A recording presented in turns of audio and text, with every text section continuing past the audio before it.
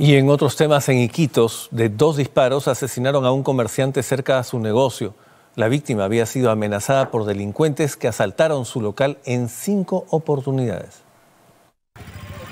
Dos impactos de bala acabaron con su vida.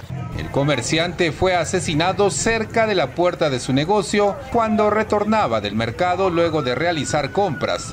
La madre y los vecinos intentaron reanimar a la víctima.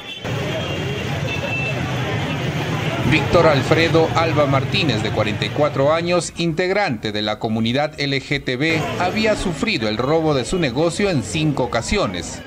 En diciembre último, los delincuentes lo habían amenazado de muerte.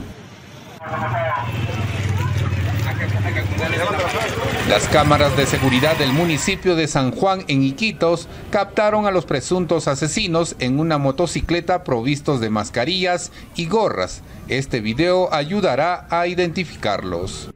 Peor que él estaba en una esquina y muchas veces se le han robado a él, muchas veces se le han robado.